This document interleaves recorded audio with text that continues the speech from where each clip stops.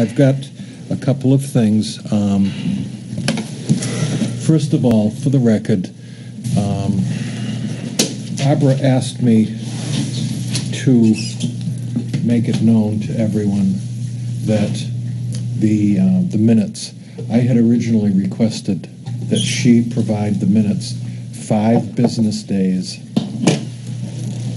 No, five, five days. Five days after we have our meeting. And the reason I requested that is because I asked the. uh, The law. I asked the town, um, Mr. Gerard, Attorney Gerard.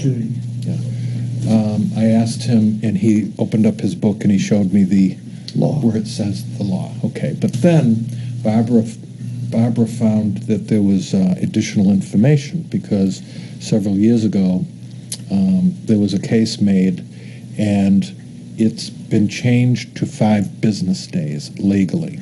So I sent that uh, information to our town attorney, and in view of that, the the minutes are now due five business days after uh, our meeting. I just wanted to mention that.